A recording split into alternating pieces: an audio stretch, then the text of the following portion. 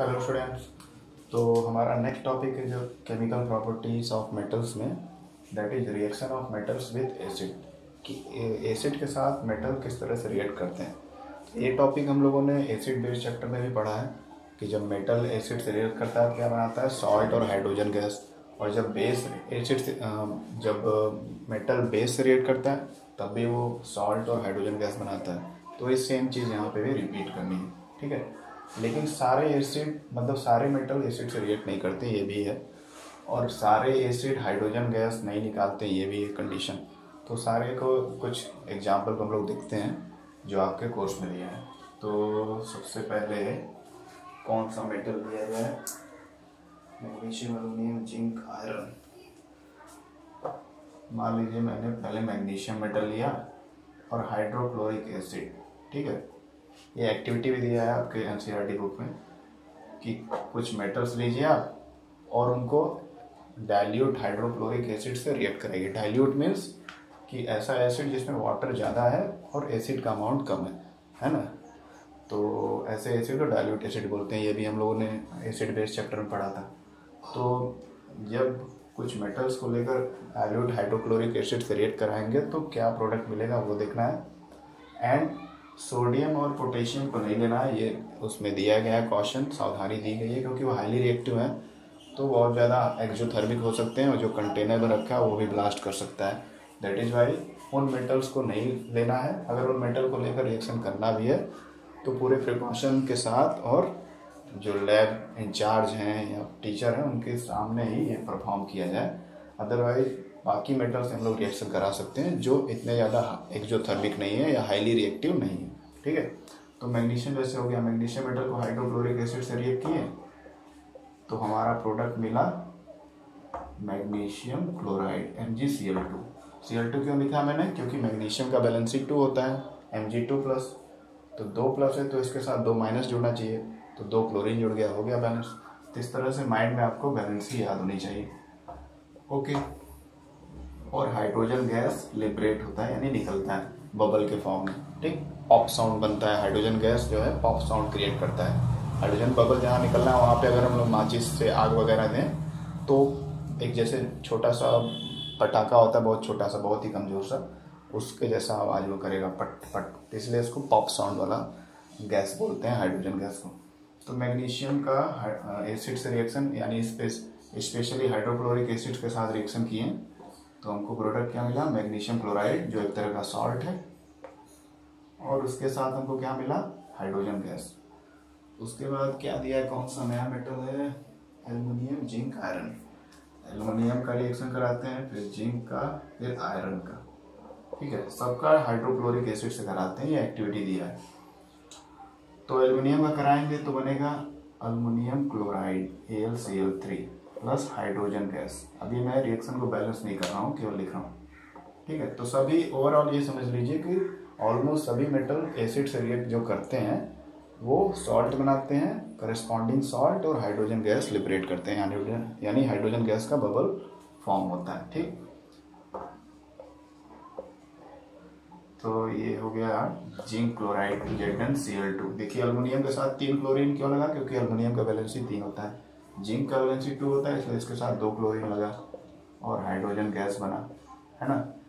उसके अलावा iron iron का हाइड्रोक्लोरिक एसिड से रिएक्शन करें तो iron chloride F C L three three यहाँ भी हाइड्रोजन गैस बना। ये सारे रिएक्शन को आप बैलेंस करने के लिए हो सकता है, पूछ लें तो इसलिए बैलेंस करना आपको आना चाहिए, ठीक है? बहुत आसान है, ये उतने ज़्यादा टिपिकल नहीं है। तो दो हाइड्रोजन एक हाइड्रोजन यहाँ दो लगा देता हूँ मैं। दो लगाने से क्लोरीन हो गया, ये सही है। बैलेंस हो गया। यहाँ पे एक क्लोरीन एक एलमिनियम एक एलमिनियम यहाँ क्लोरीन तीन है, यहाँ एक है। यहाँ तीन लगा देता हूँ। तीन लगाऊँगा, तीन हाइड्रोजन हो गया, लेकिन यहाँ दो हाइड्रोजन है। तो समस्या हो गया। अच्छा दो हाइड्रोजन है तो क्या किया जाए? अगर यहाँ पे मैं तीन लगाता हूँ, तीन दुना के छः तो यहाँ तो मुझे यहाँ छः लगाना पड़ेगा। यानी एक बार में नहीं होगा, इसमें कुछ एरर भी आएँगे। कुछ कुछ होता है, एक बार में हो जाता है बैलेंस तो छः हो गया छः हाइड्रोजन थे क्लोरीन छः क्लोरीन करने के लिए हमें टू से मल्टीप्लाई करना पड़ेगा। अब टू से यहाँ मल्टीप्लाई हुआ तो यहाँ भी टू से हो गया बैलेंस ठीक है? इस तरह से आप इन दोनों को भी बैलेंस करिएगा। ये आपका होमवर्क है। ठीक है? मेन बात आपको है, जो पहला चैप्टर से रिलेटेड अगर आपको बैलेंस ही आएगा क्वेश्चन में तो आपको तो बैलेंस करना ही पड़ेगा। इसलिए जो भी इक्वेशन आ रहा है, उसको बैलेंस करने का प्रयास करिए। और पहले चैप्टर के अलावा अगर और किसी चैप्टर से केमिस्ट्री का क्वेश्चन आया रिएक्शन का तो उसको आप बिना बैलेंस किए भी लिख सकते हैं। बस प्रोडक्ट और रिएक्टेंट सही लिखना है। बैलेंस नहीं रहेगा, तब भी चलेगा। बट जहाँ स्पेसिफिकली आपको बोलेगा कि बैलेंस करना है देन वहाँ पे आपको आना चाहिए। इसलिए ट्राई करिए कि जितने भी रिएक्शन आप लिखें, उसको बैलेंस भी करें। ठीक है? तो इससे आपका प्रैक्टिस भी अच्छा हो जाएगा और बैलेंसिंग भी आप हो जाएगी, समझ में आ जाएगी। तो हमने देखा कि मैग्नीशियम एलुमिनियम जिंक आयरन ये एसिड से रिएक्ट कर रहे हैं और सॉल्ट बना रहे हैं और हाइड्रोजन गैस प्रोड्यूस कर रहे हैं, ठीक है? अच्छा अब इसके बाद कुछ और मेटल लेते हैं, मान लीजिए कॉपर कॉपर लिए और हाइड्रोक्लोरिक एसिड से रिएक्ट करा रहे हैं। डाइल्यूट है सारा, ठीक है? तो क्या होगा? नो रिएक्शन अब इसका रीजन पूछ लेगा। है ना? या फिर पूछेगा कि when you add copper metal in dilute hydrochloric acid what will happen right the chemical reaction ऐसा सब कुछ लिख देगा। राइट द केमिकल रिएक्शन लिखेगा तो आपको लगेगा कि लगता है रिएक्शन होगा, तभी इसको बोला है। तो आपको याद होना चाहिए रिएक्टिविटी सीरीज़ है ना?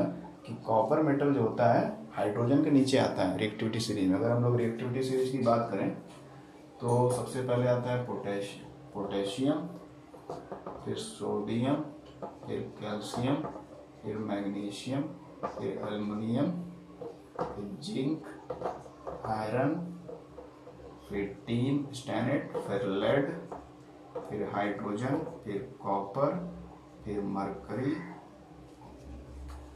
मरकरी के बाद सिल्वर एजी और सबसे लास्ट में एयू, गोल्ड, ठीक है? ये इतने नीचे हैं, इसलिए ये नोबल मेटल है। गोल्ड के नीचे फिर प्लेटिनम आता है। ये नोबल मेटल्स में आते हैं, कुछ तीन चार मेटल्स और ये सबसे हाईली रिएक्टिव है पोटेशियम ठीक है तो पोटेशियम कहीं से रिएक्शन अगर करेगा तो वहाँ पे हाईली एक्जोथर्मिक रिएक्शन होगा, यानी हीट बहुत ज़्यादा प्रोड्यूस होगा। और लगभग उसके ही बराबर होगा सोडियम के केस में। इसलिए ये दोनों मेटल्स को बहुत ही सावधानी से यूज़ करते हैं, क्योंकि बहुत ज़्यादा हीट प्रोड्यूस करते हैं प्रोडक्ट के अलावा। ठीक? तो मैं बता रहा था कि कॉपर जब है, उसको हाइड्रोक्लोरिक एसिड से रिएक्ट कराते हैं डाइल्यूट हाइड्रोक्लोरिक ठीक है? डाइल्यूट तो रिएक्शन क्यों नहीं देता है? इसका कारण क्यों है? कि कॉपर जो है हाइड्रोजन के देखिए नीचे आ रहा है है ना?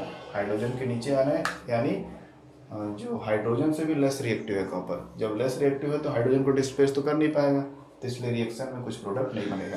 तो आप जानते होंगे कि जब भी एसिड और मेटल रिएक्ट करता है तो सॉल्ट और हाइड्रोजन गैस जो बनता है, वो एक तरह का डिस्प्लेसमेंट रिएक्शन भी है है ना? यहाँ पे क्या होता है? डिस्प्लेस करता है। जैसे यहाँ देखिए हाइड्रोजन को डिस्प्लेस कर दिया आयरन उसकी जगह ले लिया, बाकी बैलेंसी वगैरह हो गया, वो तो बैलेंस है ना।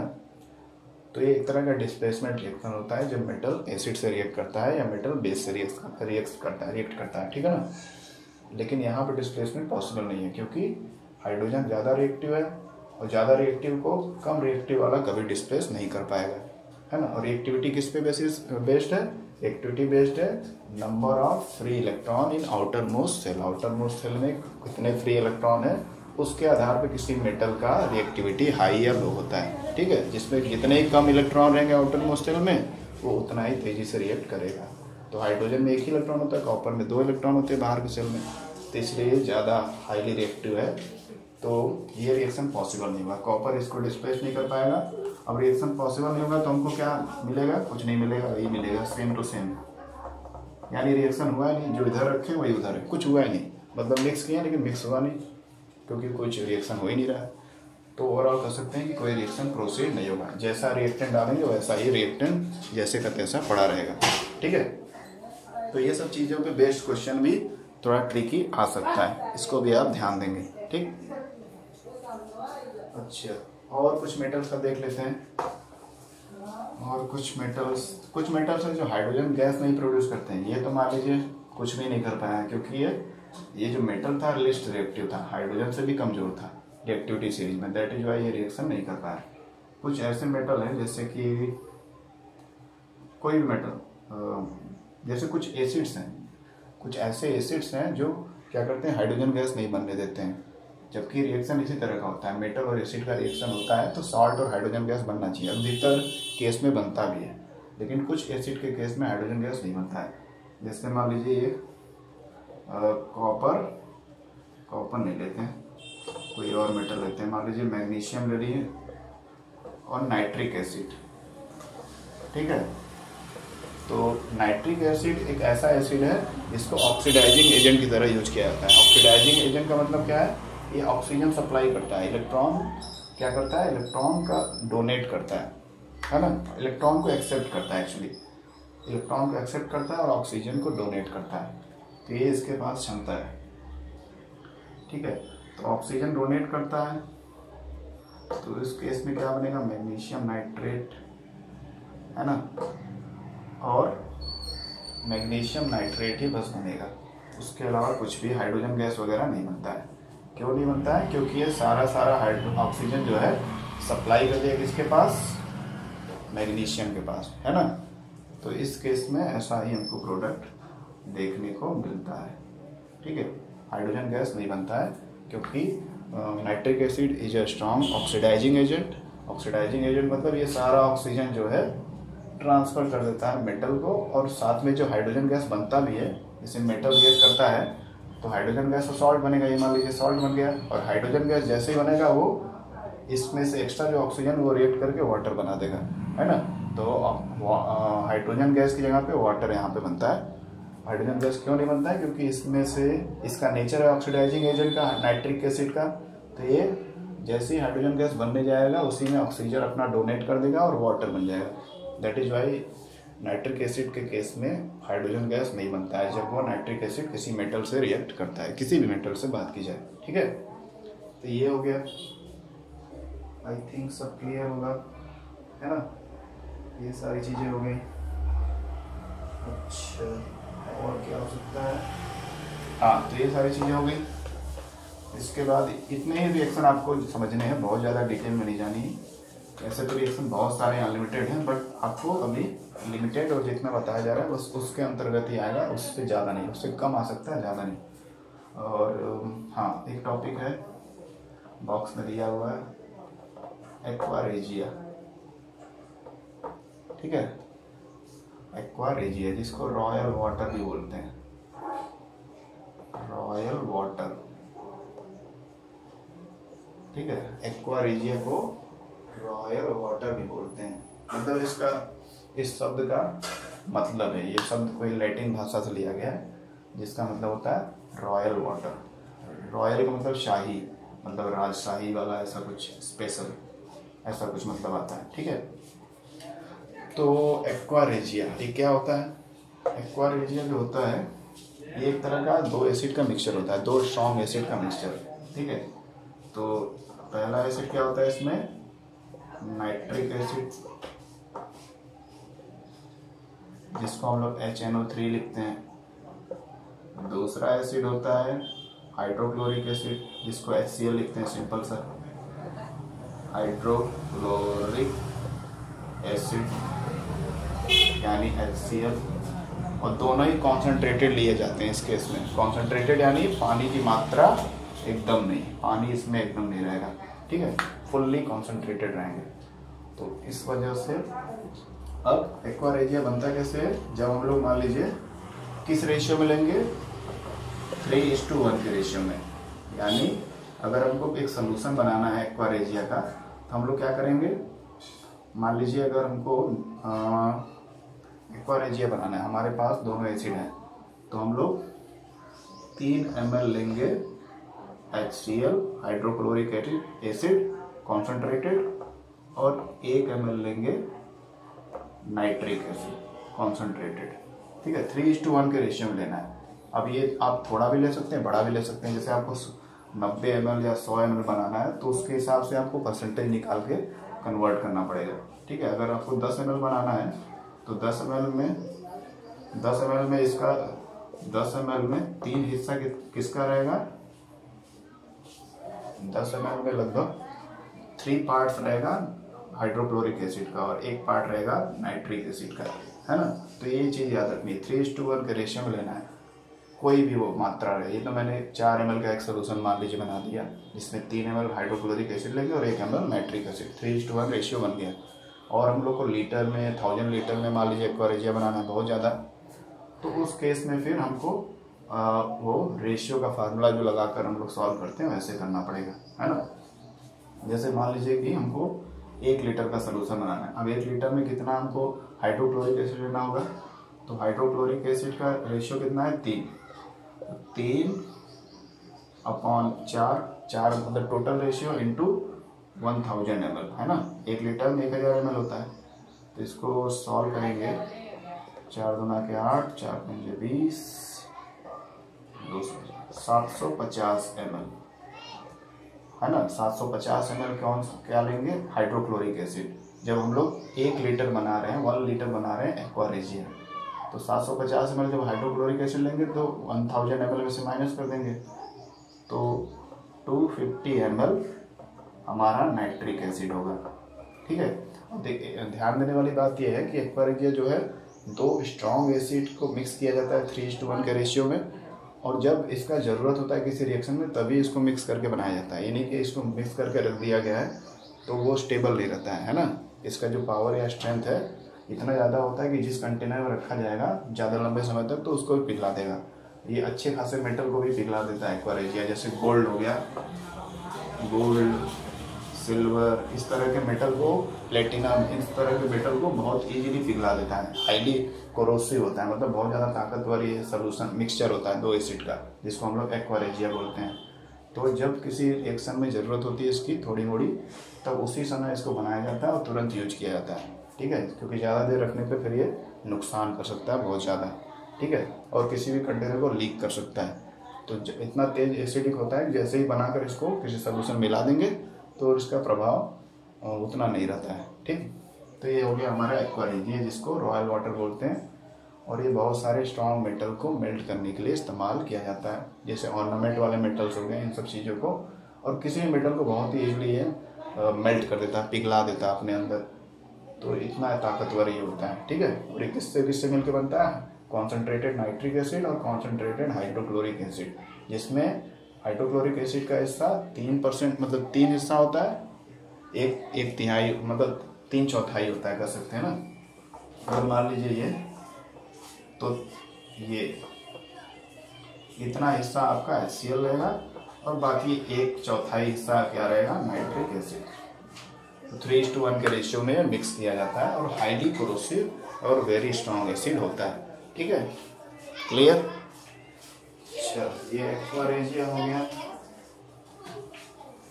अब उसके बाद reaction of solution of other metals अब आगे बढ़ते हैं।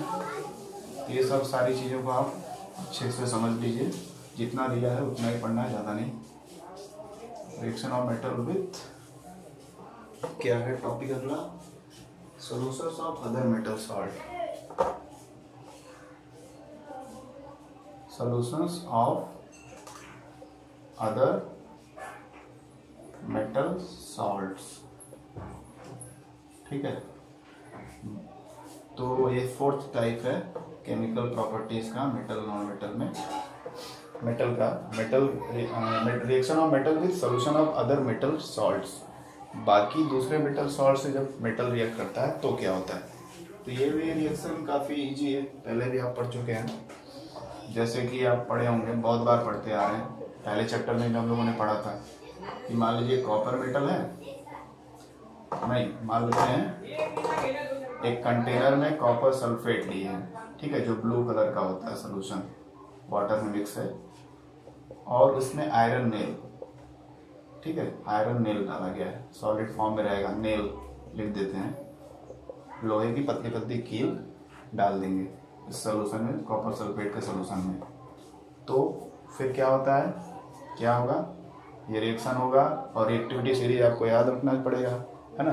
तो रिएक्टिविटी सीरीज़ में अगर सोचेंगे, समझेंगे, याद रखेंगे तो पता चलेगा आपको कि आयरन जो है कॉपर से काफ़ी ऊपर पाया जाता है रिएक्टिविटी सीरीज़ में, यानी ये हाईली रिएक्टिव है एज कंपेयर टू कॉपर तो कॉपर को डिस्प्लेस कर जाएगा, है ना? ये सारी चीज़ें हम लोग फ़र्स्ट चैप्टर में पढ़ चुके हैं। तो एक तरह का डिस्प्लेसमेंट रिएक्शन है। आयरन सल्फेट बनेगा जो ग्रीन कलर का होता है डर्टी ग्रीन या हल्का ग्रीन और कॉपर हमारा फ्री हो जाएगा। और नीचे बैठ जाएगा ब्राउन कलर का, है ना? क्योंकि कॉपर ब्राउन कलर का होता है, ठीक? तो ये रिएक्शन हो गया। अब मान लीजिए उल्टा करते हैं, मान लीजिए हमारे पास पहले से आयरन सल्फेट है।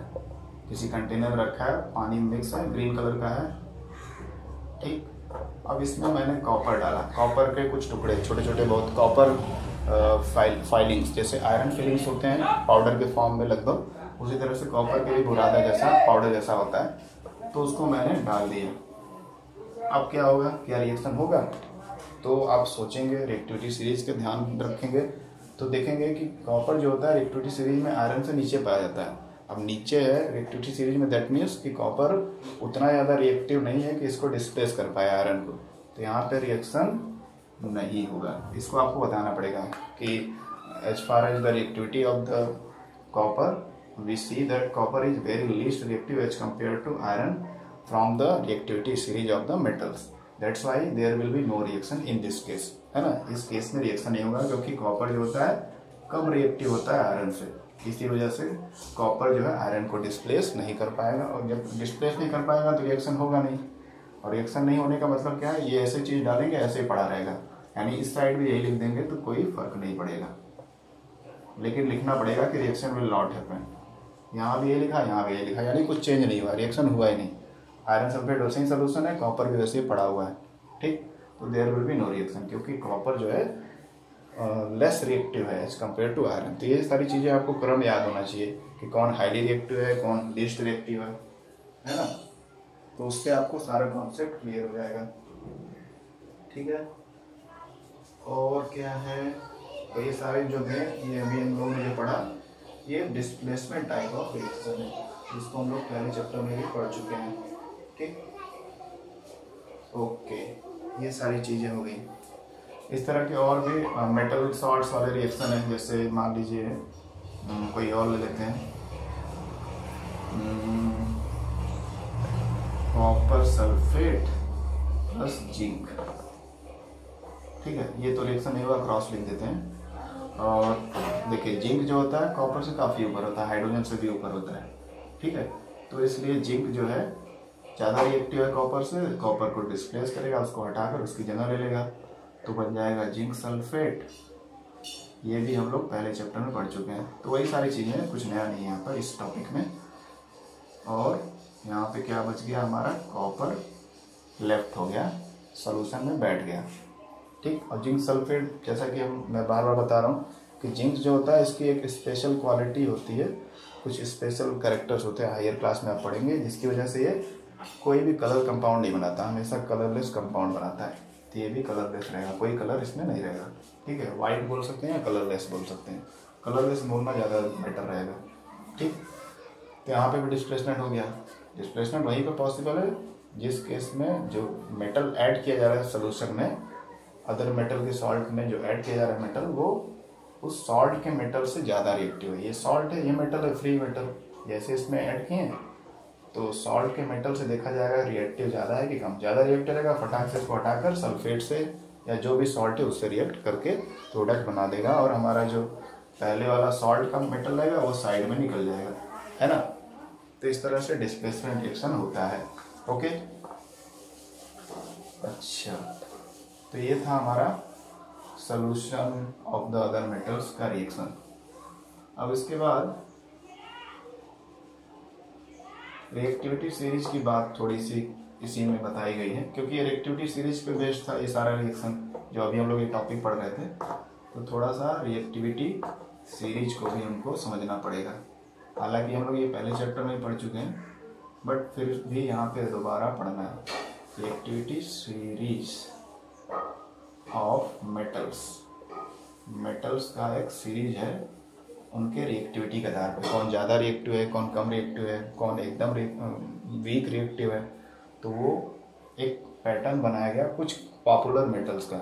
सभी मेटल का नहीं बनाया गया। ऐसे तो बहुत सारे मेटल हैं। पीरियोडिक टेबल में और नेचर में। लेकिन जो कुछ पॉपुलर या कॉमन मेटल्स होते हैं, जो अक्सर हम लोग उनका रिएक्शन वगैरह देखते रहते हैं तो उसका केवल सीरीज़ हमको देखना है फ़िलहाल। हायर क्लास में आप जाएँगे तो लंबी सीरीज़ आपको मिलेगी, जिसमें सारे मेटल का अरेंजमेंट होगा वन बाई वन तो फ़िलहाल हम लोग को तो रिएक्टिविटी सीरीज़ में केवल कुछ पॉपुलर मेटल का ही असेंडिंग ऑर्डर देखना है, ठीक है? तो रिएक्टिविटी सीरीज़ चलिए लिख लेते हैं एक बार फिर से पोटेशियम उसके बाद सोडियम फिर कैल्शियम फिर मैग्नीशियम ये ज़्यादा नीचे आ जा रहा है। Magnesium aluminium potassium, sodium, calcium, magnesium aluminium फिर जिंक, आयरन, फिर टीन टीन का एसन लिखते हैं स्टैनेट बोलते हैं टीन, फिर लेड, फिर हाइड्रोजन, फिर कॉपर, फिर मरकरी मरकरी, फिर सिल्वर, फिर गोल्ड, फिर प्लेटिनम है ना, इस तरह से सारे सारे, बहुत सारा लंबा सीरीज़ है। तो फ़िलहाल हमको इन कुछ पॉपुलर मेटल्स के बारे में ही पढ़ना है। तो ये हो गया हमारा रिएक्टिविटी सीरीज़ इस सीरीज़ में जो मेटल टॉप पे होता है, उसकी रिएक्टिविटी हाई होती है। तो रिएक्टिविटी सीरीज़ का अगर स्ट्रेंथ देखा जाए तो इस तरह बढ़ता है, नीचे से ऊपर की तरफ़। ठीक? नीचे से ऊपर की तरफ़ रिएक्टिविटी बढ़ता है। ठीक? तो जो टॉप पे रहेंगे, या सबसे ऊपर जो रहेगा, वो ज़्यादा रिएक्टिव रहेगा, उसके नीचे आएगा, वो कम रिएक्टिव रहेगा, ऐसे ही ये ऑर्डर घटता जाएगा, यानी रिएक्शन हाईली रिएक्शन देने का जो ऑर्डर है, वो नीचे आने पे घटता जाएगा, ठीक? तो हाईएस्ट रिएक्टिविटी ऊपर रहता है। हाईएस्ट रिएक्टिविटी रिएक्टिविटी वाला मेटल जो है, इस सीरीज़ में, इस ऑर्डर में सबसे टॉप पे रहता है। और लोएस्ट वाला लोएस्ट वाला जो होता है बॉटम में होता है, सबसे नीचे होता है। लोएस्ट रिएक्टिविटी प्लेटिनम किसी किसी बुक में नहीं दिया रहता तो गोल्ड उस जगह पे मार सकते हैं, है ना? तो गोल्ड जो है, आपके कोर्स के हिसाब से इस रिएक्टिविटी सीरीज़ में सबसे नीचे आ रहा है लोएस्ट पॉइंट पे आ रहा है तो ये सबसे लीस्ट रिएक्टिव होगा, बहुत ही कम रिएक्शन देगा, ना के बराबर। तो इसलिए इन सबको गोल्ड सिल्वर प्लेटिनम इन सबको नोबल मेटल्स भी बोला जाता है because they do not react very easily that is why they are known as noble metals ठीक है? ओके, ये हो गया। अब इसके बाद हमको क्या पढ़ना है? ये रिएक्टिविटी सीरीज़ पढ़, समझ लिए रिएक्टिविटी सीरीज़ को मान लीजिए आपको डिफाइन करना है तो आप बोल सकते हैं reactivity series is the series of metals in order of their reactivity and reactivity depends on the number of free electron available in their valence shell valence shell में जितने ज़्यादा, या मतलब जो इलेक्ट्रॉन है, कितना ईजिली वो रिएक्ट करते हैं किसी और एटम एलिमेंट से या मेटल से उसी को, उसी के बेसिस पे रिएक्टिविटी सीरीज़ बनाई गई है, ठीक है? तो रिएक्टिविटी सीरीज़ यानी मेटल का एक क्रम जिसमें सबसे ज़्यादा रिएक्टिव मेटल जो होगा वो टॉप पे रहता है और सबसे लीस्ट जो रहता है, वो रहता है बॉटम पर। और अगर कभी इन, इनके बीच में आपस में रिएक्शन होगा किसी भी तरह से, कोई भी रिएक्शन तो उस केस में क्या होगा? कि ज़्यादा reactive metal least reactive metal को डिस्प्लेस कर देगा, है ना? तो इस तरह से ये रिएक्टिविटी सीरीज़ का टॉपिक भी एंड हो गया। अब हम लोग नेक्स्ट टॉपिक में आगे पढ़ेंगे कि कैसे मेटल और नॉन मेटल रिएक्ट करते हैं और फिर उसके बाद क्या होता है ओके